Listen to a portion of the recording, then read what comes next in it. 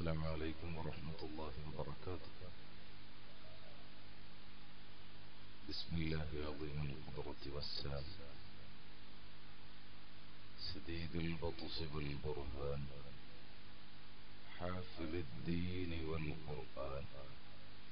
بسم الله ما شاء الله كان.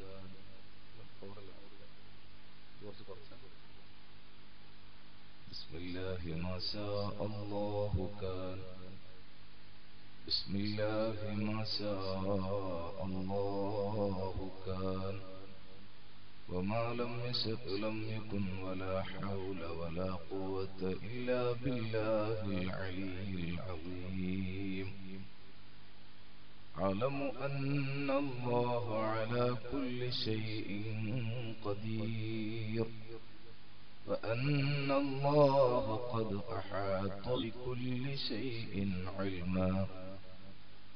اللهم إني أعوذ بك من شر نفسي ومن شر كل دابة أنت آخذ بناصيتها. إن ربي على صراط مستقيم.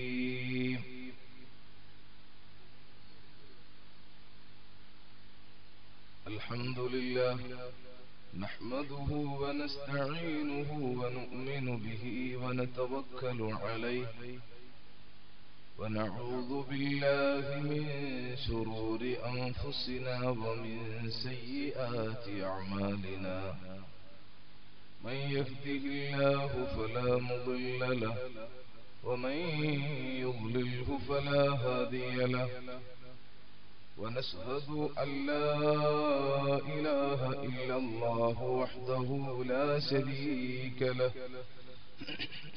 ونشهد أن سيدنا محمدا عبده ورسوله. أرسله بالهدى ودين الحق بشيرا ونذيرا. وداعيا إلى الله بإذنه وسراجا منيرا ليظهره على الدين كله ولو كره المشركون. اللهم صل وسلم وبارك على سيدنا محمد.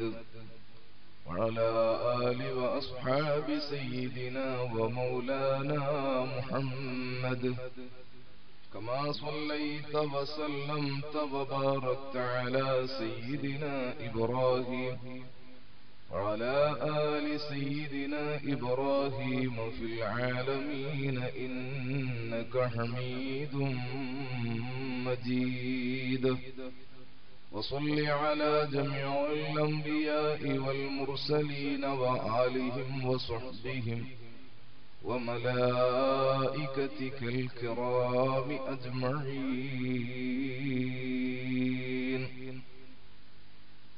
أعوذ بالله من الشيطان الرجيم.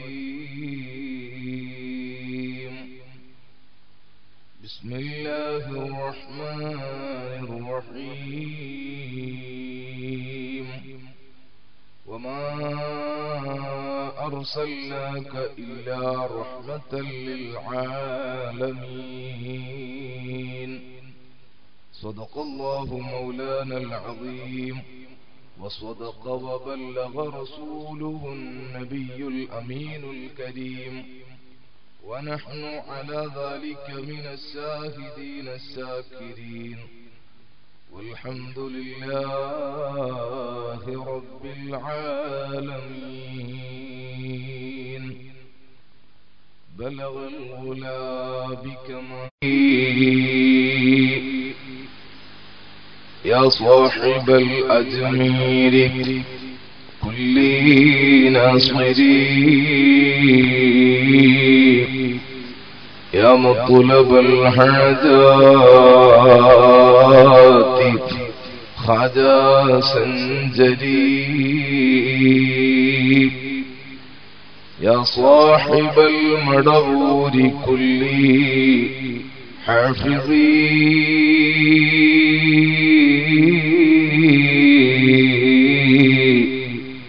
يا مطلب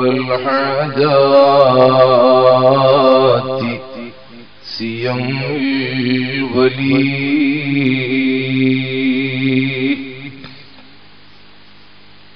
ആദരണീയരായ പണ്ഡിതന്മാരെ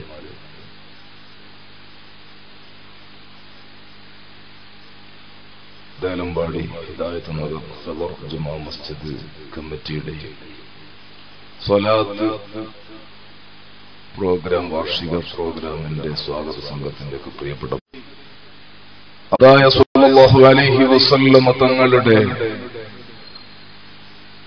അനർഘനീയമായ അവാജ്യമായ അനുഭൂതിദായകമായ അവിടുത്തെ മതഹ് നമ്മുടെ ജില്ലയുടെയും നമ്മുടെ നാടുകളുടെയൊക്കെ അഭിമാനമായ അഭിമന്യരായ മുഹമ്മദ് റഫീഖ് സഴദി നേരമ്പാടി ഉസ്താദ് അള്ളാഹു ആഫിയത്തുള്ള ദീർഘായുസ് കൊടുക്കട്ടെ ഉസ്താദിന്റെ വളരെ സാരവത്തായ നബിസല്ലാഹു അലഹി വസ്ല്ലം തങ്ങളുടെ മധുഹം കേട്ട ഒരു സദസ് തങ്ങളുടെ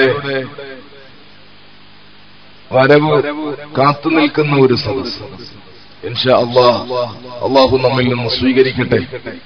അള്ളാഹു നമുക്ക് ബറക്കത്ത് ചെയ്യട്ടെ.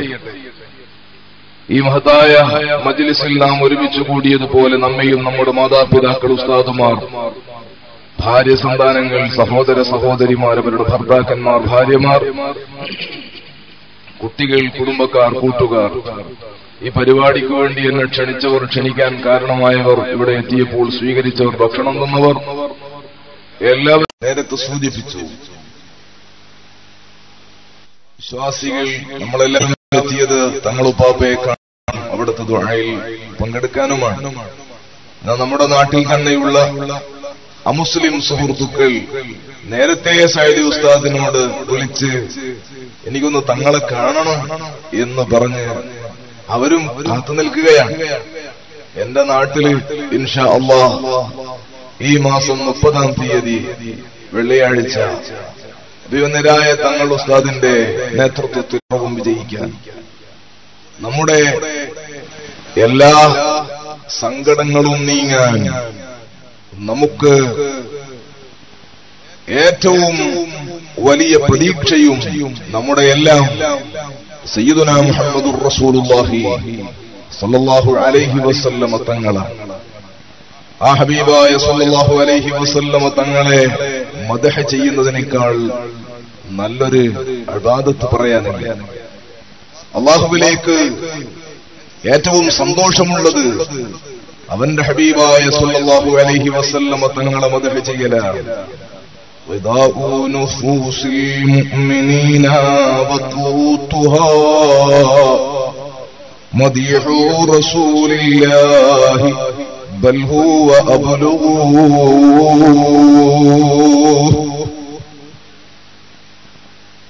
നമ്മുടെ ആത്മാവിന്റെ ഭക്ഷണം നമ്മുടെ ശരീരത്തിന് നാം ധാരാളം ഭക്ഷണം കൊടുക്കുന്നവരാണ്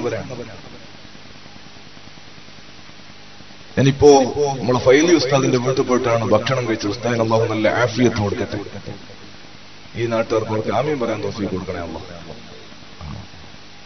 അവർക്ക് ആമീൻ പറഞ്ഞാൽ ബർക്കത്തും കൊടുക്കണേ അല്ല ഉസ്താദിന് അള്ളാഹു നല്ല ആഫിയത്ത് കൊടുക്കട്ടെ.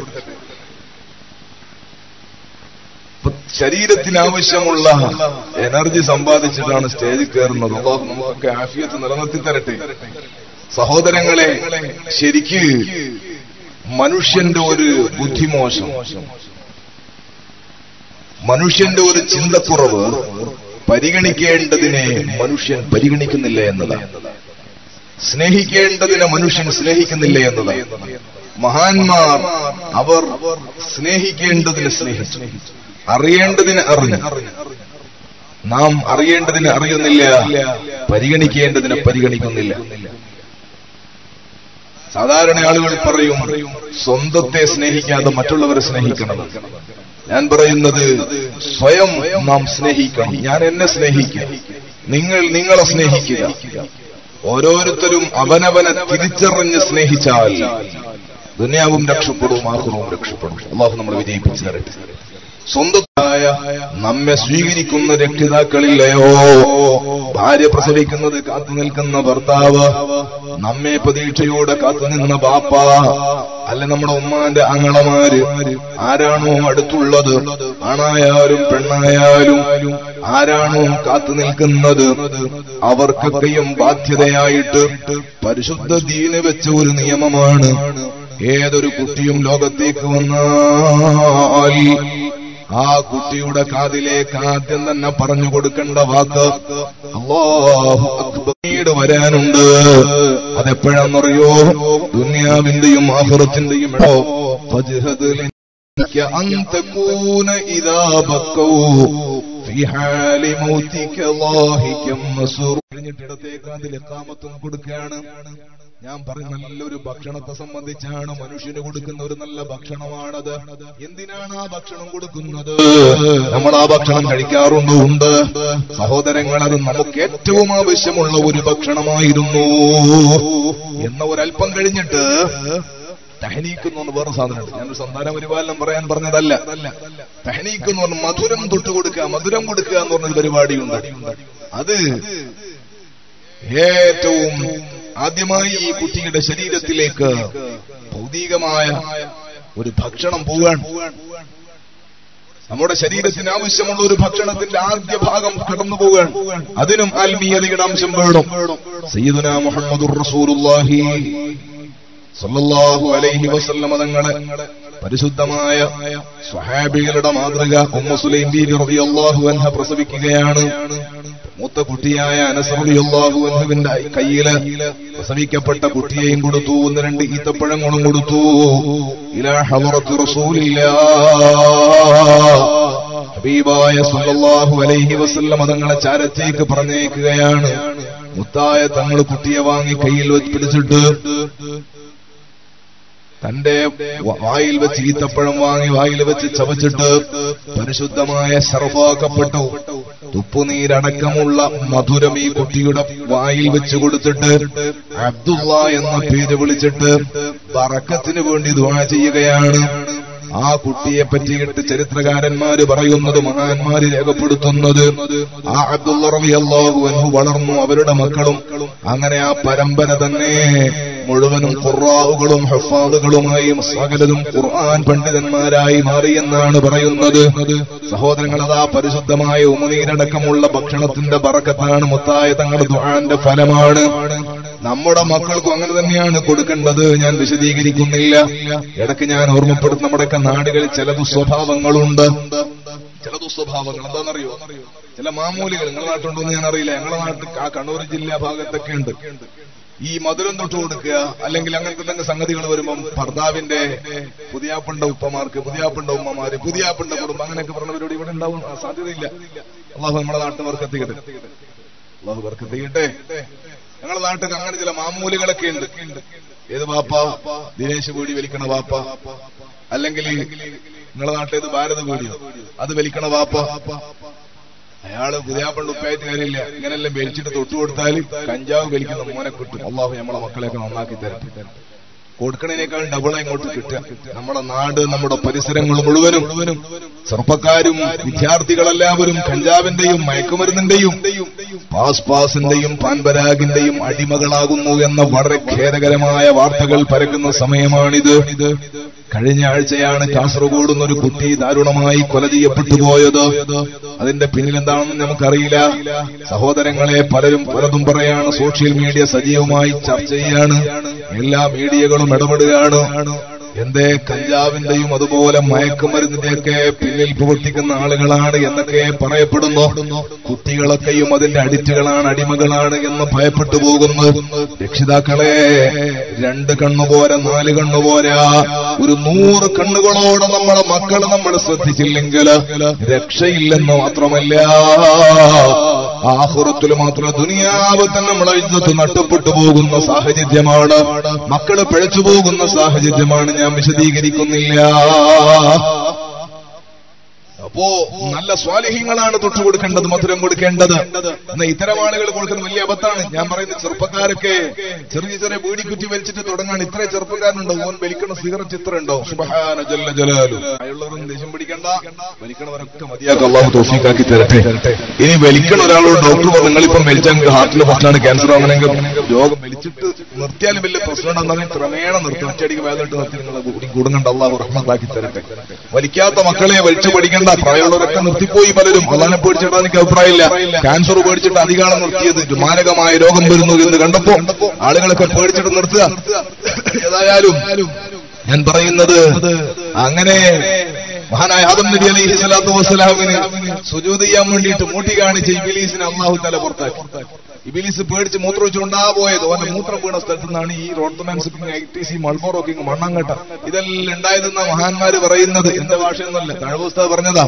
എന്നിട്ട് എന്താ ബഹുമാനപ്പെട്ടവർ പറഞ്ഞെന്നറിയോ ഇബിലീസ് മൂത്രമൊഴിച്ചവൻ തള്ളുന്നു. നീ നിന്റെ ചുണ്ടിൽ വെച്ചതും വലിക്കുന്നു. ഇബിലീസ് മൂത്രക്കൊലോട് മൂത്രമൊഴിച്ച് വിട്ടതാ. നമ്മൾ കാലിന്റെ മുകളിൽ കാലം വെച്ചിട്ട് എന്തൊരു ടേസ്റ്റില്ല വലിക്കുന്നത്? എന്തൊരു കൗതുകം ഇത് കണ്ട് അംലാക്കിനെന്തൊരു ദുഃഖമാണിത് കൊണ്ട്. ഇബിലീസിന് കൗതുകമില്ലാണ്ട് തോന്നെ മൂത്രമല്ലേ കുടിക്കണേ മലക്കൾക്ക് വെറുപ്പില്ലാണ്ട് അവർക്കറിയില്ല ഇത് മൂത്രമാണ് അള്ളാഹു നമ്മളെ നന്നാക്കി തരാം അള്ളാഹു നമുക്ക് റഹ്മത്ത് ചെയ്യേണ്ട ഞാൻ പറഞ്ഞത്. വിശദീകരിച്ച് അങ്ങ് പോയി പോകും ഞാൻ പറയുന്നത് ആ കുട്ടിയുടെ ശരീരത്തിലേക്ക് കൊടുക്കുന്ന ഭക്ഷണമുണ്ടല്ലോ. അതിന് മാലിന്യതയുടെ ഒരു അംശം വേണം. എന്തിനാണോ? അത് ശരീരത്തെക്കാളും പവറുള്ളതുമായിരിക്കണം.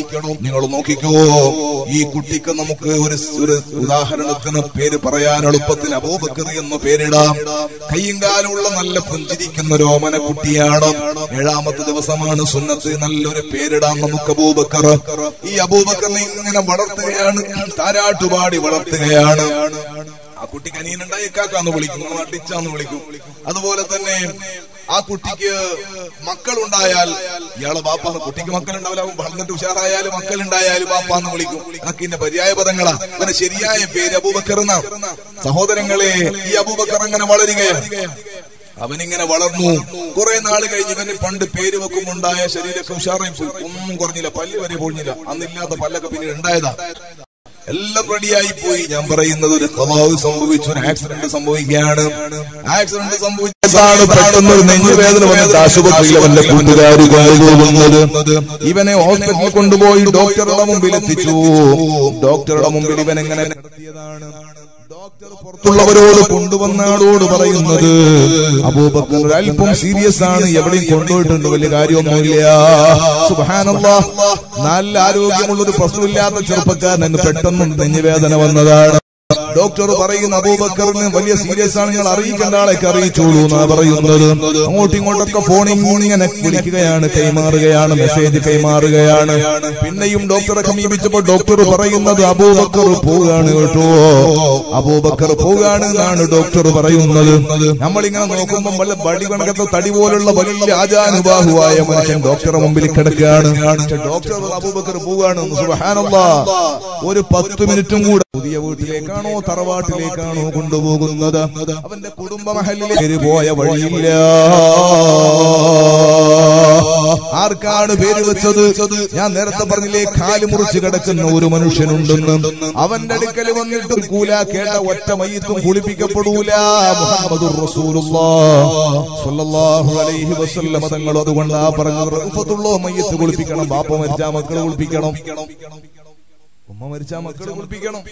മക്കൾ മരിച്ച ഉമ്മ പദം തന്നെയാണ് ഉപയോഗിക്കുന്നത്. സഹോദരങ്ങളെ കബറിറക്കിയിട്ട് കബറടക്കിയിട്ട് കല്ലൊക്കെ വെച്ച് മൂടിയിട്ട് ഇവന് നല്ല സമ്മാനങ്ങൾ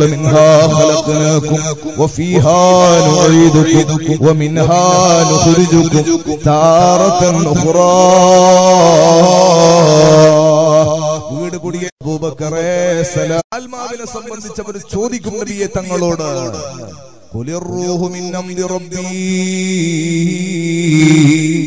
പറയൂ നബിയേ ആത്മാവന്റെ റബ്ബിന്റെ കാര്യത്തിൽപ്പെട്ടതാണ് വമാ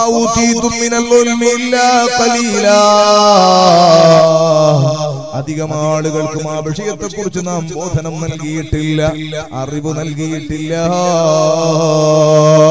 അതുകൊണ്ട് ആ സഹോദരങ്ങൾ എപ്പോഴാണത് പോകുന്നത് എന്ന് പിടുത്തം പറയാൻ കഴിയാത്തത് ലോകത്തെ ഏറ്റവും വലിയ സാധ്യതയുള്ള ചികിത്സക്ക് സാധ്യതയുള്ള സ്വാധീനമുള്ള റൊണാൾഡോ ട്രംപ് അമേരിക്കയുടെ പ്രസിഡന്റ്.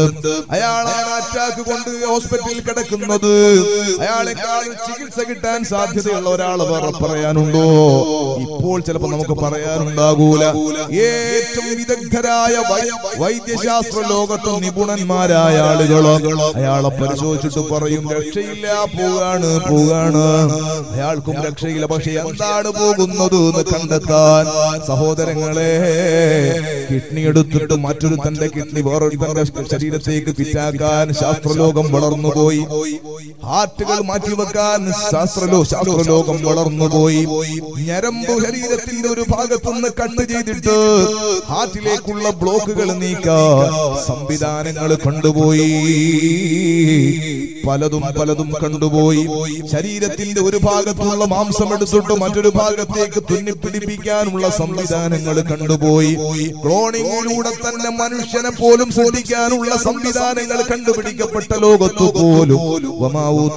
മിനൽ ഇൽമി ഇല്ലാ ഖലീലാ. എന്താണ് ജീവൻ എന്ന് കണ്ടെത്താൻ പറ്റിയിട്ടില്ല? എന്താണ് ഈ സാധനം ശരീരത്തിൽ നിന്നോ ഒന്ന് പോകുന്നുണ്ട്? പക്ഷെ എന്താന്ന് മനസ്സിലായിട്ടില്ല. സഹോദരങ്ങളെ അതിനെയാണ് ജീവൻ എന്ന് പറയുന്നത്. അതിനെയാണ് ആത്മാവെന്ന് പറയുന്നത്. ഞാൻ പറഞ്ഞില്ലേ ആദ്യം കൊടുത്ത ബാങ്ക് അത് ആത്മാവിന്റെ ഭക്ഷണമായിരുന്നു. മിസ്ബാഹി എന്ന് പറയുന്നത്. എന്റെ ഈ തലയെക്കെട്ടും താടിയും അനങ്ങുന്ന കൈകളുമല്ല. സംസാരിക്കുന്ന നാവല്ല. ഞാനെന്ന് പറഞ്ഞ് എന്റെ ഉള്ളിലൊരു റൂഹുണ്ട്. എന്റെ ഉള്ളിലൊരു ജീവനുണ്ട്. അതുള്ള സമയത്താണ് എന്റെ പേര് ഉപയോഗിക്കുന്നത്. അതങ്ങ് പോയാ പിന്നെ ഞാൻ മയ്യത്ത സഹോദരങ്ങളെ. നിങ്ങൾക്കും ഒരേ പേര് എനിക്കും ഒരേ പേര്. എന്നെ തിരിച്ചറിയ എന്നെ തിരിച്ചറിയാൻ എനിക്ക് വെച്ചിരിക്കുന്ന അഡ്രസ് ഇല്ലയോ? എന്റെ പേരില്ലയോ? അത് ഈ ശരീരത്തിൽ നിന്ന് ഊരി മാറ്റപ്പെട്ടാൽ ഈ ശരീരത്തിൽ ഉപയോഗിക്കൂല. രണ്ടാമത് റീഫിറ്റ് ചെയ്യുമ്പോഴാണ് പേര് തിരിച്ചു വരുന്നത്. ഞാൻ പറയുന്നത് ഞാൻ എന്നെ സ്നേഹിക്കണോന്ന് പറഞ്ഞില്ലേ? നിങ്ങൾ നിങ്ങളെ സ്നേഹിക്കണോന്ന് ഞാൻ പറഞ്ഞില്ലേ? തമാശക്ക് പറഞ്ഞതല്ല. നിങ്ങൾ ശരിയായ നീ എന്ന് പറയും. ഞാൻ പറയുന്നില്ലേ? എന്നോട് കളിച്ചാൽ ഞാൻ വിടൂല. ആരാണോ ഈ ഞാൻ എന്ന് പറയുന്നത് ഈ കാണുന്ന കോലമല്ല.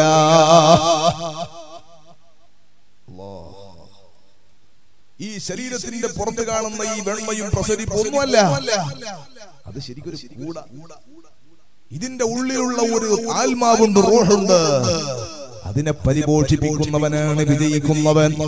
അവനാണ് ശരിയായി ലക്ഷ്യം കാണുന്നവൻ. അതാണ് മഹാന്മാരുടെ ലോകം.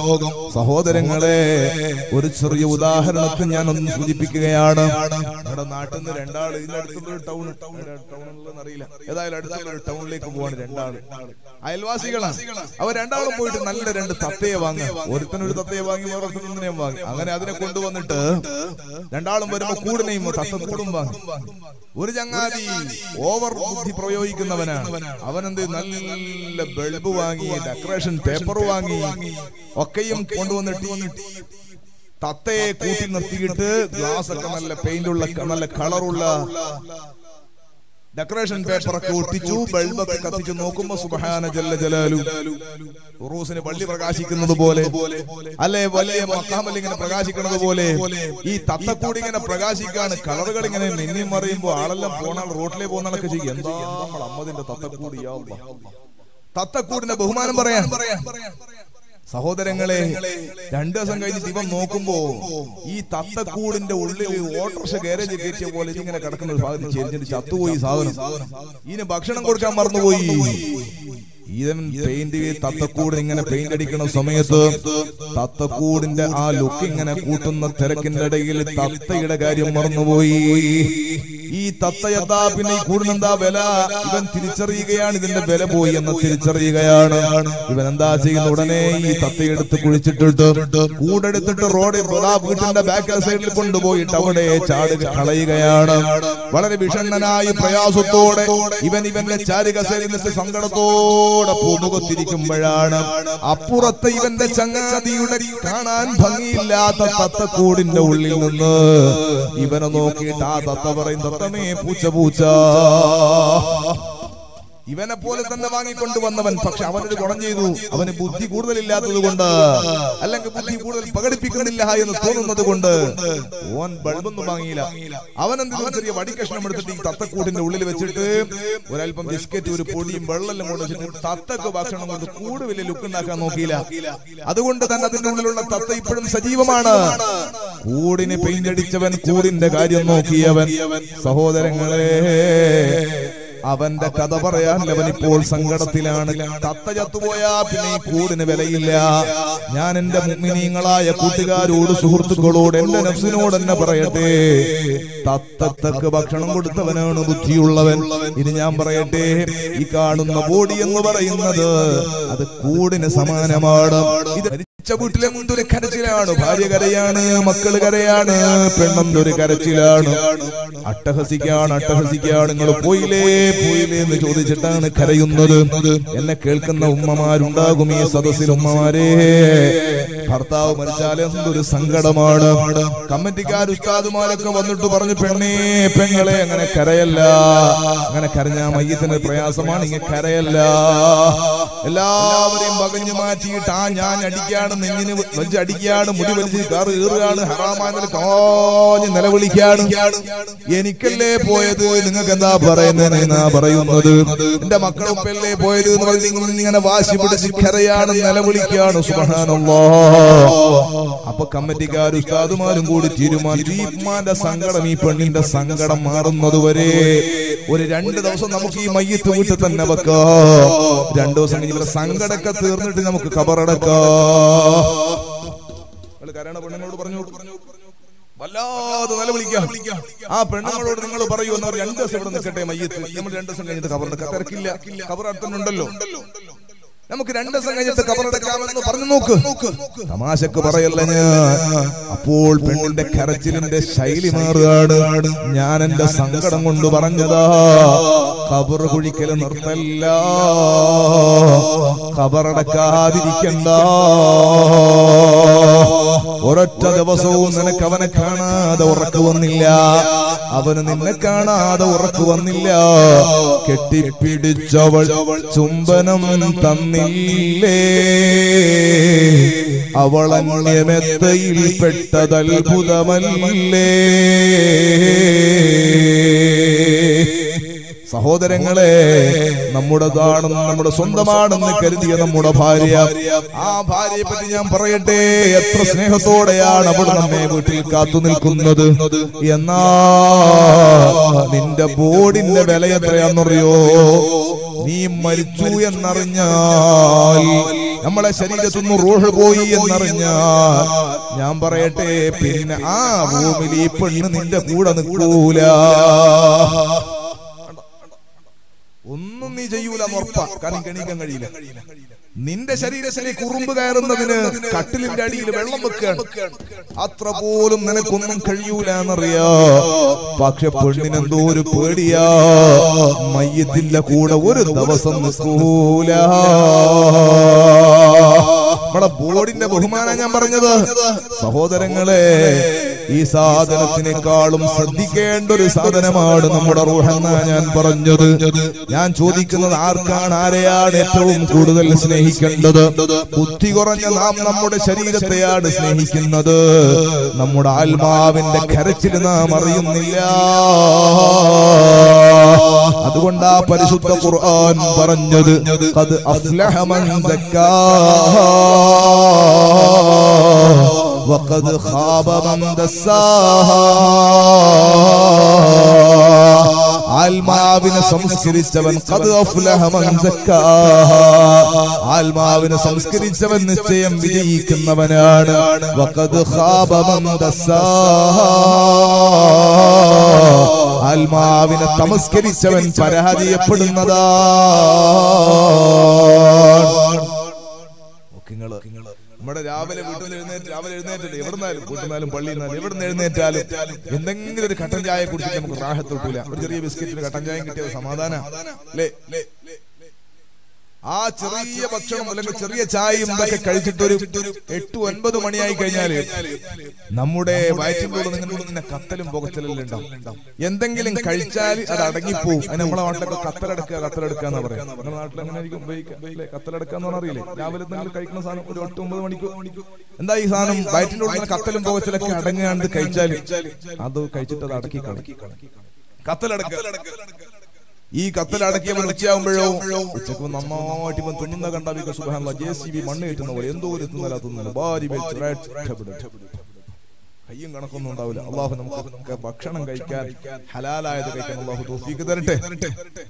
അള്ളാഹു തോഫീക്ക് തരട്ടെ? സഹോദരങ്ങളെ ഉച്ചയ്ക്ക് നന്നായിട്ട് കഴിച്ചു എന്ത് കഴിക്കലാണ് ഇവൻ കഴിച്ചു ഇനി ഒരു മാസത്തേക്ക് തിന്നൂലെന്ന് ചോദിച്ചു തിന്നൽ കണ്ടു പക്ഷേ വൈകുന്നേരം ഒരു ഒരു അഞ്ചു മണിയെല്ലാം ഇങ്ങനെ നടക്കുന്നു. അപ്പൊ മറ്റോ ചോദിച്ചു നീ എന്താടോ ഒരു റേഞ്ച് ഇല്ലാണ്ട് നടക്കുന്നു? അപ്പൊ പറയാ ചായ കിട്ടിയില്ല കണ്ടോ? ഉച്ചയ്ക്ക് ഈ ഫുള്ള് തിന്നോനും വൈകുന്നേരം അഞ്ചു മണിയാകുമ്പോഴത്തേക്ക് റേഞ്ചേ പോയി. ചായ കിട്ടാത്തതുകൊണ്ട്. ചായ ഒരു ഗ്ലാസ് കിട്ടുമ്പോ ഇവൻ ഫുൾ റേഞ്ചിലായി ഏതുവരെ? രാത്രി കഴിഞ്ഞ് കുറച്ച് സമയം കഴിയുന്നവരെ. ഉറങ്ങണതിന് മുമ്പൊന്നും കിട്ടിയിട്ട് ഉറക്കന്നെ വരൂല. ഞാൻ പറയുന്നത്. നിസ്കരിക്കാൻ വന്നു. നിസ്കരിക്കാൻ വന്നു. എന്തിനാണ് ഈ പാതിരാതി തണുപ്പിനും മഴയത്തും എഴുന്നേറ്റ് നിസ്കരിക്കുന്നത്? നീ വന്ന ഈ ലോകത്തു മോനെ മറ്റൊരു സ്ഥലത്തേക്ക് പോകാനുള്ള ഒരു ചെറിയ ഇടത്താവളം മാത്രമാണിത്. അവിടെ എത്തിയാൽ നമുക്കൊരു വിജയത്തിന് എന്തെങ്കിലും വേണ്ടേ? ഹയാലൽ ഫലാഹ്.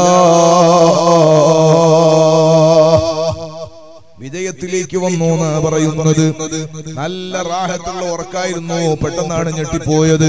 അപ്പോഴാ മനസ്സിലാക്കിയത് നല്ല തണുപ്പുണ്ട് എ സി ഉണ്ട് ഗൾഫിലൊക്കെ പ്രത്യേകിച്ച് പ്രവാസി സുഹൃത്തുക്കൾക്ക് അള്ളാഹു പറഞ്ഞത് അറിഞ്ഞു നോക്കുമ്പോ പുതപ്പ് ശരിയില്ല. വീണിട്ടായിട്ട്. ഭയങ്കര സങ്കടം അപ്പൊ ഈ പുതപ്പും രണ്ടാമത് ഇട്ടിട്ട് നല്ല ഉഷാറായിട്ട് ഉറങ്ങാൻ അടുത്ത ഉറക്കും. അയ്യാൽ അസല അയ്യാൽ ഫല പറഞ്ഞത് ഉറക്കും. പുതപ്പും ശരിയാക്കാൻ ാണ് പറഞ്ഞത്? ഏറ്റവും നല്ല പണിയെടുക്കുന്നയാൾ അല്ലാഹു നമ്മളെ സഹോദരങ്ങളെ ഞാൻ പറഞ്ഞത് ആ പരിശുദ്ധമായ പള്ളിയിൽ നിന്ന് വിളിച്ചപ്പോ എഴുന്നേൽക്കാതെ ഉറങ്ങുന്ന ചെറുപ്പക്കാരനുണ്ടോ? സുബഹയുടെ വാങ്ങ കേട്ടിട്ട് പരിഗണിക്കാതെ കണ്ണടച്ച് പിന്നെയും പുതപ്പ് മൂടുന്ന ചെറുപ്പ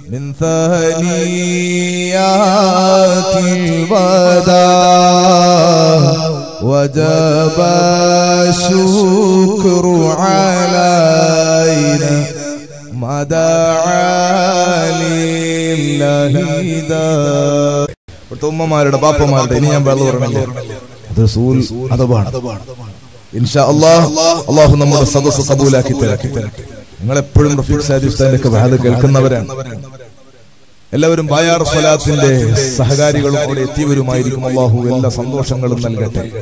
നമ്മുടെ ജില്ലയ്ക്ക് അള്ളാഹു ധാരാളം മഹാന്മാരെ സ്വീകരിക്കാൻ അള്ളാഹു അവസരം തന്നിട്ടുണ്ട്. മഹാനായ മാലിക് ദിൻ റളിയല്ലാഹു അൻഹു കേരളക്കരയിലെത്തിയപ്പോ മഹാന്മാരെ സ്വീകരിക്കാൻ ഏകദേശം നമ്മുടെ ചിലങ്കോടും അതുപോലെ തളങ്കരയിലും ഒക്കെ അവരുടെ പള്ളികൾ നിർമ്മിക്കാൻ അവരെ സ്വീകരിക്കാൻ ഭാഗ്യം കിട്ടിയ നാടാണ് പരിശുദ്ധമായ കാസർഗോഡ് ജില്ല. ഈ കാസർഗോഡ് ജില്ലയിൽ തന്നെ ഒരുപാട് മഹാന്മാർ താഹിറുൽ ലഹ്ദിൽ തങ്ങൾ മഹാനായ തങ്ങൾ അവരെ സ്വീകരിക്കാൻ അള്ളാഹു തല നമുക്ക് ഭാഗ്യം നൽകി. സഹോദരങ്ങളെ ചില സമയത്ത് ചില ആളുകൾ അള്ളാഹു താല ഈ ഉമ്മത്തിന് ഈ ഉമ്മത്തിന് നേതൃത്വം നൽകാൻ സമൂഹത്തിന് വലിയ സന്തോഷം നൽകാൻ ആത്മീയമായി നേതൃത്വം നൽകാൻ അള്ളാഹു താല ഏൽപ്പിക്കുകയാണ്. ഇന്ന് കേരളക്കരയിലെ ആത്മീയ മജിലിസുകളുടെ തലസ്ഥാന നഗരിയായിട്ട് പായാറു മജിലിസ് മാറിപ്പോയി. എല്ലാ സ്ഥാപനങ്ങളിലും സ്വലാത്തുണ്ട് പക്ഷേ ആ സ്വലാത്തുകൾക്ക് ഇപ്പോഴൊരു പ്രത്യേകതയുണ്ട്. ഒട്ടുമിക്ക സ്വലാത്തുകളുടെയും ഒട്ടുമിക്ക സ്ഥാപനങ്ങൾ നടക്കുന്ന വലിയ വലിയ മജിലിസുകളുടെയും സാരഥിയായി ബായാർ പാപ മാറിപ്പോയി അള്ളാഹുവേ. അവർക്ക് നീ റഹ്മത്ത് ചെയ്ത് അവരുടെ അവരുടെ സന്തോഷവും അവരുടെ പൊരുത്തവും നീ ഞങ്ങൾക്ക് നൽകണം. അള്ളാ. ഇന്നലെ മിനിയാന്ന് തങ്ങൾ പാപ്പ ബഹുമാനപ്പെട്ട സുലൈമാൻ തക്കാഫി മാളിയേക്ക് എസ് വൈ എസിന്റെ നേതൃത്വമാണ്. അവിടുത്തെ വെട്ടിച്ചിറയിൽ രണ്ടു മാസത്തേക്ക് ബദർ മജ്ലിസ്. പൊന്മള ഉസ്താദിന്റെ സ്ഥാപനത്തിൽ സാധുവായി ഞാൻ അവിടെ പോയിട്ടുണ്ട് ഒരു സ്ഥലത്ത്. പല സ്ഥലങ്ങൾ മലപ്പുറം ജില്ലയിൽ നിന്നൊക്കെ എല്ലാ ജില്ലകളിലും എല്ലാ സ്ഥലങ്ങളിലും. വലിയ വലിയ സദസ്സുകളുടെ മുഴുവനും സാരഥിയായി മഹാനെ തങ്ങൾ പാപ്പ. അവിടുത്തെ ഈ ചെറിയ പ്രായത്തിൽ വലിയ പവർ കൊടുത്തു. ഞാൻ പറയുന്നത് ആ നിലയ്ക്ക് ആത്മീയ കേരളത്തിന്റെ അല്ലെങ്കിൽ മജിലിസുകളുടെ കേന്ദ്രബിന്ദുവായി ഇന്ന് ബായാർ സ്വലാത്തും അതുപോലെ തന്നെ തങ്ങൾ പാപ്പയുടെ നാട്ടിലുള്ള ജാറത്തിങ്കൽ കടമ്പുഴ ജാറത്തിങ്കൽ സ്വലാത്തു മജ്ലിസ്. പതിനായിരങ്ങൾ എന്ന് വെറുതെ ബാജയ കസർത്ത് പറയല്ല അത് പോയവർ നമ്മളൊക്കെ പോയവരായിരിക്കും. ലക്ഷം എന്ന് പറഞ്ഞാൽ ലക്ഷങ്ങൾ എന്ന് പറഞ്ഞാൽ തെറ്റാകാത്ത നിലയ്ക്ക് സദസ്സിൽ കണ്ടെത്താത്തവരത്തോളം അതിനേക്കാളും വഴിയിൽ നമ്മൾ വലിയ വലിയ സമ്മേളനങ്ങളിൽ പോകുന്നത് പോലെ നടന്നാലെത്താത്രയും ദൂരത്തിൽ വിശ്വാസികൾ തടിച്ചുകൂടുന്നത് നോട്ടീസ് ഒട്ടിച്ചിട്ടല്ല. ഭക്ഷണം കൊടുക്കാൻ വേണ്ടി കഴിയൂല. ഭക്ഷണം കൊടുത്താൽ എത്തൂല. ഒരു വെള്ളം പോലും കിട്ടാൻ പ്രതീക്ഷയില്ല. എന്നിട്ടും ആളുകൾ ഇപ്പോൾ നല്ല എയർപോർട്ട് റോഡാണ് അവിടെ വായാറ് എന്നാൽ ഒരു കൊല്ലം മുമ്പ് ബായാർ റോഡ് എന്ന് പറഞ്ഞ തോണി പോകുന്ന പോലെ പോകണം. പോകണം. സഹോദരങ്ങളെ ആ സമയത്തും അവിടെ സൂചി കുത്താൻ സ്ഥലമുണ്ടായില്ല പറഞ്ഞാൽ എല്ലാ ജനങ്ങളും അറിഞ്ഞിട്ട് എപ്പോഴാണ് സ്വലാത്ത് എന്ന് ചോദിച്ചിട്ട് പോകുന്നത്? അവിടെ വേറെന്തെങ്കിലും ദുനിയാവിന്റെ സംഗതി ഉള്ളത് കൊണ്ടല്ല. വരുന്നവർക്കൊക്കെ എന്തെങ്കിലും ദുനിയാവിന്റെ സാധനം കൊടുക്കുന്നത് കൊണ്ടല്ല. മറിച്ച് തങ്ങളുപ്പാപ്പി ഒന്ന് കാണണം. ഞാൻ പറഞ്ഞില്ല ഇവിടെ തന്നെ പ്രതീക്ഷ നേരത്തെ പറഞ്ഞു ഏതോ രണ്ട് മുസ്ലിം സുഹൃത്തുക്കൾ പുറത്ത് കാത്തു നിൽക്കുന്നുണ്ട്. അലഹമില്ല എന്റെ നാട്ടിൽ മുപ്പതാം തീയതി തങ്ങൾ ഉപ്പാപ്പയുടെ തിരക്കിന്റെ ഇടയിൽ തങ്ങൾ ഉപ്പാപ്പയുടെ തന്നെ നേതൃത്വത്തിൽ തുടങ്ങാൻ ഉദ്ദേശിക്കുന്ന അവിടുന്ന് പ്രസിഡന്റായി തുടങ്ങാൻ ഉദ്ദേശിക്കുന്ന ജലാലി അക്കാദമി എന്ന സ്ഥാപനത്തിന്റെ സ്വലാത്ത് പരിപാടിയിലേക്ക് തങ്ങൾ ഉപ്പാപ്പ ഞങ്ങളുടെ നാട്ടിലേക്ക് വരാൻ വേണ്ടി ഏറ്റിട്ടുണ്ട്. അള്ളാഹുവെ ആഫിയത്തോടെ ഞങ്ങളുടെ നാട്ടിൽ വന്ന് നേതൃത്വം നൽകാൻ നല്ല സന്തോഷം നൽകണം എല്ലാ സന്തോഷങ്ങളും നൽകണമല്ല അവിടെ ഞാൻ പറഞ്ഞത് ഒരു കണ്ടക്ടർ ഒരു അമുസ്ലിം കണ്ടക്ടർ എവിടെന്നാണ് അയാൾ തങ്ങളെ പറ്റി കേട്ടതെന്നറിയില്ല അയാൾ ഞങ്ങളുടെ മദ്രസയുടെ ഞങ്ങളുടെ സ്ഥാപനത്തിന്റെ സെക്രട്ടറിയോട് പറഞ്ഞത് ബായാറ് തങ്ങൾ ഒന്ന് കാണാൻ അനുവദിക്കോ ഞാൻ നേരത്തെ പറഞ്ഞില്ലേ. ഞങ്ങൾ എല്ലാവരോടും പറഞ്ഞു തങ്ങളെയൊക്കെ സ്റ്റേജിൽ നിന്ന് കാണലില്ലാതെ വ്യക്തിപരമായി ഒരാൾക്ക് കാണാൻ വേണ്ടിയിട്ട് സൗകര്യം ചെയ്ത് കൊടുക്കാൻ നമുക്ക് കഴിയൂല. അത് തങ്ങളും പാപ്പയുടെ സമയത്തെ നഷ്ടപ്പെടുത്തലാണ്. അതെല്ലാവരോടും പറഞ്ഞു. പക്ഷെ ഇയാൾ ഒരു ഹിന്ദുവാണ്. അയാൾ പറഞ്ഞു തങ്ങളെ ഒന്ന് കാണാൻ വേണ്ടി സൗകര്യം ചെയ്തു തരുമോ? അയാളുടെ മകൾ മകനെന്തോ സൗകര്യമില്ല. അപ്പൊ നമ്മൾ പറഞ്ഞു ഇൻഷാല്ല സൗകര്യം ഉണ്ടെങ്കിൽ നമുക്ക് നോക്കാം. കാരണം അതൊരു അമുസ്ലിം സഹോദരൻ ആയതുകൊണ്ട് ഒറ്റയടിക്ക് പറ്റൂല എന്ന് പറയുമ്പോൾ ഉണ്ടാകുന്ന ഒരു മാനസികമായ ഒരു വിഷമം. അവർക്ക് ചിലപ്പോൾ ആ സമയവും തങ്ങളുടെ ആ ഒരു തിരക്കും ചിലപ്പോൾ മനസ്സിലായിട്ടില്ലെങ്കിലും ഒന്ന് മനസ്സിലാക്കിയിട്ട് പറഞ്ഞില്ല. ഞാൻ പറയുന്നത് രണ്ടാഴ്ചക്ക് അപ്പുറമുള്ള പരിപാടിക്ക് ഇപ്പോഴേ തങ്ങളെ കാണണം പറഞ്ഞ് നിൽക്കുക. ആ നിലയ്ക്ക് നമ്മുടെ നാട്ടിലേക്ക് എത്തിയ അഭിമന്യരായ തങ്ങൾ പാപ്പക്ക് അള്ളാഹു റഹ്മത്ത് ചെയ്യട്ടെ. അള്ളാഹു ബറക്കത്ത് ചെയ്യട്ടെ. അള്ളാഹു സന്തോഷം നൽകട്ടെ. തിരുനബി സല്ലല്ലാഹു അലൈഹി വസല്ലമ തങ്ങളുടെ രക്തം. തിരുനബി സല്ലല്ലാഹു തങ്ങളുടെ ജുസ് അവർ നമ്മുടെ കടപ്പാട് നമ്മുടെ നമ്മുടെ നമ്മുടെ എല്ലാം എല്ലാമാണ്. അതുകൊണ്ട് തന്നെ ആ ഹബീബായ സല്ലല്ലാഹു അലൈഹി വസല്ലമ തങ്ങളുടെ മദഹ് ജീവിതത്തിൽ നമുക്ക് പഠിപ്പിച്ചു തരാൻ ആത്മീയമായി നമ്മെ ഉയർത്താൻ സ്വലാത്തിലൂടെ നമുക്ക് വലിയ പവർ അള്ളാഹു തആല തങ്ങൾ പാപ്പക്ക് നൽകിയിട്ടുണ്ട്. ഞാൻ സംസാരിക്കുന്നത് നിർത്തുകയാണ്. എന്റെ ഒരു കുട്ടിയുണ്ട്. നാലഞ്ച് മാസമായി അള്ളാഹു മക്കൾക്കൊക്കെ റഹ്മത്ത് ചെയ്യട്ടെ. ആ മോന് എനിക്ക് മൂന്ന് പെൺകുട്ടികളാണ് അപ്പോ മൂന്ന് പെൺകുട്ടികളാണ്. ഭാര്യ കുറഞ്ഞ വർഷം ഗർഭിണിയായപ്പോ ഞാൻ തങ്ങൾ പാപ്പയോട് വന്നിട്ട് പറഞ്ഞു എനിക്ക് മൂന്ന് പെൺകുട്ടികളാണ്. ഇപ്പം ഭാര്യ ഗർഭിണിയാണ്. ഇപ്പൊ രണ്ടു മാസമായി എത്ര മാസമായി രണ്ടു മാസമായി അപ്പൊ തങ്ങൾ അപ്പൊ തന്നെ എന്നോട് പറഞ്ഞു സമ്മതി മുഹമ്മദാണ് അപ്പൊ തങ്ങളെ സ്കാനിങ് ഒക്കെ അന്നിരുന്നു നടന്നു. ഞാൻ ഭാര്യ പ്രസവിച്ച സമയത്ത് വലിയ പ്രശ്നങ്ങൾ വലിയ സങ്കടം വലിയ ബുദ്ധിമുട്ടൊക്കെ ഉണ്ടായിരുന്നു. തങ്ങളും പാപ്പന്റെ ഒരൊറ്റൊരു വാക്കിന്റെ ഒരു ഇപ്പൊ പേടിക്കണ്ട കാഞ്ഞങ്ങാടുന്ന് ബ്ലീഡിങ് സംഭവിച്ചിട്ട് ഡോക്ടർമാരും ഡോക്ടർമാരും പല ഡോക്ടർമാർ ഹോസ്പിറ്റലിലേക്ക് വന്നിട്ട് കൈയൊഴിഞ്ഞിട്ട് മംഗലാപുരത്തേക്ക് ആംബുലൻസിൽ രണ്ട് കൈയിലും ഗുൾക്കോസ് അടിച്ചിട്ട് രക്തം കയറ്റിയിട്ട് കൊണ്ടുപോകുക അത്രയും സീരിയസ് ആയ സമയത്ത് ഞാൻ കുവൈത്തിൽ ഞങ്ങൾ ഉപ്പാപ്പയെ വിളിച്ച് കരഞ്ഞ പേരോട് മിസ്ബാഹി ഇപ്പൊ നിൽക്കും. മൂന്ന് യാസീനോദാൻ. പിന്നെയോ ഒരല്പം വെള്ളം മന്ത്രിച്ചിട്ട് ഫാത്തിഹ ഫാത്തിഹ ഓതിയിട്ട് കൊടുക്കാൻ. അപ്പോ ആംബുലൻസിന്റെ ഡ്രൈവർ പറഞ്ഞു വെള്ളം കൊടുത്താൽ പ്രശ്നമാണ്. സിസ്റ്റർമാർ രണ്ടാൾ ആംബുലൻസിലുണ്ട്. അവർ പറഞ്ഞേ പ്രശ്നമില്ല. കാരണം അവർ നേരത്തെ വിട്ടിട്ടാണ്. അവരെ പ്രതീക്ഷ വിട്ടിട്ടാണ് മംഗലാപുരത്തെ കയറ്റി വിടുന്നത്. അപ്പോ ആംബുലൻസ് നിന്ന് ഈ ഓക്സിജൻ കൊടുത്തിട്ടാ കൊണ്ടുവന്ന ഓക്സിജന്റെ ഈ സാധനം ഊരിയിട്ട് ഡ്രൈവർ കുടിച്ചതിന്റെ ബാക്കി ഒരല്പം വെള്ളം ഉണ്ടായിരുന്നു. ആ വെള്ളത്തിൽ എന്റെ ജ്യേഷ്ഠൻ മല്ലിമ മൂന്ന് ഫാത്തിഹ ഓതിയിട്ട് തങ്ങൾപ്പ പറഞ്ഞിട്ട് ഞാൻ വിളിച്ചു പറഞ്ഞപ്പോ അത് കൊടുത്തു. അലഹമില്ല നമ്മൾ അന്ന് പ്രസോട്ട തങ്ങളുപ്പാപ്പയുടെ ഉറൂസിന്റെ സമയത്ത് തങ്ങളുപ്പാപ്പന്റെ ആ സ്റ്റേജിൽ നടക്കുമ്പോഴാണ് പാസ്സായിട്ട് പോകുന്നത് മംഗലാപുരത്തേക്ക്. മംഗലാപുരത്ത് നോക്കുമ്പോൾ ഒരു കംപ്ലൈന്റും ഇല്ല. അലഹമില്ല പിറ്റേ ദിവസം ഞാൻ വന്നിട്ട് ബായാർ സ്വലാത്തിന് കൂടി തങ്ങളുപ്പാപ്പയുടെ കയ്യിൽ കുട്ടിയെ കൊടുത്തിട്ട് മുഹമ്മദ് എന്ന് പേര് വിളിപ്പിച്ചു. കാരണം തങ്ങളുപ്പാപ്പ ഏഴ് മാസം മുമ്പ് എന്നോട് പറഞ്ഞതാ. ഞാൻ പറയുന്നത് അത് പറയണമെങ്കിൽ നാവൻ നല്ല അസറ് സ്വലാത്തിനെ സ്നേഹിക്കുന്ന മുത്തായ തങ്ങളിലേക്ക് ജനങ്ങളെ കൊണ്ടുപോകുന്ന നാവിനല്ലാണ്ട് അങ്ങനെ പറയാൻ ധൈര്യം കിട്ടൂല. അല്ലാണ്ട് എനിക്ക് പറയാൻ കഴിയും പ്രസവിക്കണം. നാല് മാസം മുമ്പ് അഞ്ചു മാസം മുമ്പ് എന്റെ കുട്ടി ഇന്നായിരിക്കും. ഇപ്പം ഞാൻ രണ്ടു മാസമായി എന്ന് പറയുമ്പോൾ കുട്ടിക്ക് ഞാൻ മുഹമ്മദ് എന്ന് പേരിട്ടു എന്നോട് പറഞ്ഞു ആ റഹ്മത്ത് ചെയ്യട്ടെ. വലിയ സന്തോഷം നൽകിയ നമ്മുടെ നേതൃത്വമാണ് നമ്മുടെ നാട്ടിലുള്ളത്. ചെറിയൊരു ഏതായാലും നമുക്ക് റഹ്മത്ത് ചെയ്യട്ടെ. ക്ഷമ നിങ്ങളോടും ക്ഷമ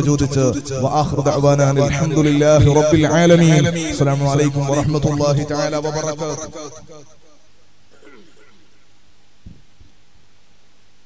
അസ്സലാമു അലൈക്കും വറഹ്മത്തുള്ളാഹി.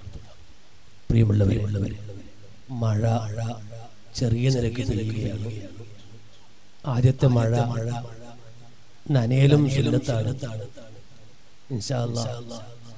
എത്രയോ ദൂരത്ത് നിന്ന് കഴിവിനരായ സീതവർഗം എത്ര കൊല്ലമായി നാട്ടുകാർ കാത്തിരിക്കുന്നു എത്തിപ്പെട്ടപ്പോ ഒരു മഴ കാരണം നിങ്ങൾ ആരും മാറി നിൽക്കരുത് നനഞ്ഞ നനയൻ മഴ വന്ന മഴ നനഞ്ഞ് നനഞ്ഞ് പനി വന്ന ഇൻഷാല്ല തങ്ങളെ ദുരാ കൊണ്ട് ഒക്കെ ശമനമാകും. എല്ലാവരും വന്ന് സരസരിക്കണം അള്ളാഹുത്തിന്റെ വർഗത്തി മഴക്ക് പിടിച്ച് നിൽക്കണ്ട ഇൻഷാല്ല മഴ മാറി കിട്ടും. അഭിമന്യരായ സീതവർഗം എന്ത് പറയണം? എങ്ങനെ സ്വാഗതം പറയണം? എനിക്ക് അറിയുന്നില്ല എനിക്ക് വാക്കുകളില്ല. അള്ളാഹുവെ നീ ആഫിയത്ത് കൊടുക്കണം റഹ്മാനെ ആരോഗ്യം കൊടുക്കണേ. റഹ്മാനെ സന്തോഷം കൊടുക്കണേ റഹ്മാനെ. ദീർഘായുസ് നൽകണം റഹ്മാനെ. ബിനിയാൻ ഞാൻ പറഞ്ഞില്ലേ എന്റെ നാട്ടിൽപ്പെട്ട മൂന്ന് മൂന്ന് അമുസ്ലിം സുഹൃത്തുക്കളെ തങ്ങളുടെ കൊണ്ടുപോയി. ഇപ്പോഴും നമ്മളെ മാലിംഗൻ ആശാരി സ്റ്റേജിൽ കാത്തിക്കുകയാണ് തങ്ങളെ. ഞങ്ങളൊന്ന് കാണാൻ വേണ്ടി കാത്തിക്കുകയാണ് അദ്ദേഹത്തിന്റെ മകൾക്ക് എന്തൊരു പ്രശ്നം? മകൾക്ക് എന്തൊരു പ്രശ്നമുണ്ട്? നേരത്തെ കാത്തിക്കുന്നുണ്ട് ഞങ്ങളൊന്ന് മകളെന്തോ ഇങ്ങനെ ജാതിമത വേദമന്യ എത്ര ആൾക്കാരാണ്? അള്ളാഹു തലമുറത്തേക്ക് ദീർഘായുസ് നൽകുമാറാകട്ടെ. ആഫിയത്ത് നൽകുമാറാകട്ടെ. ഡോക്ടർമാരെ കച്ചവടം ചെയ്യുന്ന കാലം. കിഡ്നി മാറ്റി വെക്കാൻ ലിവർ മാറ്റി വെക്കാം ക്യാൻസറിന്റെ പേരിൽ അൻപത് ലക്ഷമൊക്കെ ഇങ്ങനെ കച്ചവടം കിടക്കുന്ന സമയത്ത് അലഹമില്ല ബഹുമാനപ്പെട്ട ചെയ്തവരുടെ ആ ആത്മീയ നേതൃത്വത്തിൽ വെറും വെള്ളം കൊണ്ട് ഡോക്ടർമാർ റിജക്ട് ചെയ്ത വലിയ വലിയ കേസുകൾ ഒരു ഉറപ്പിക ചെലവില്ലാതെ അള്ളാഹുത്തല മാറ്റി കൊടുക്കുമ്പോ ഈ നേതൃത്വം കുറെ കാലം നമുക്ക് ആവശ്യമാണ്. അർഹമുറാഹിബായ റബ്ബേ നിങ്ങൾക്ക് ആമീൻ പറയണം. അവിടത്തേക്ക് നീ ആഫിയത്ത് കൊടുക്കണം റഹ്മാനെ. ആരോഗ്യം കൊടുക്കണേ റഹ്മാനെ. ദീർഘായുസ് നൽകണം റഹ്മാനെ. അവിടുത്തെ നേതൃത്വം ദീർഘകാലം നമുക്ക് നൽകണം റഹ്മാനെ. ഈ നാട് ദേലമ്പാടിയാണ് ഞങ്ങൾക്കറിയാം. ചെറിയ നാടാണ് പാവങ്ങളുടെ നാടാണ്. അധികം ആൾക്കാരും ബയാറു സലാത്തിന് എത്തിപ്പെടുന്നവരാണ്. എന്നിട്ട് സംസാരിച്ച് സമയം കളയുന്നില്ല. എല്ലാവിധ സ്വാഗതങ്ങളും അർഹിക്കുന്ന ഭാഷയിൽ അറിയിച്ചുകൊണ്ട് അഭിമനരായ അവരുടെ നേതൃത്വത്തിന് വേണ്ടി ക്ഷണിക്കുന്നു.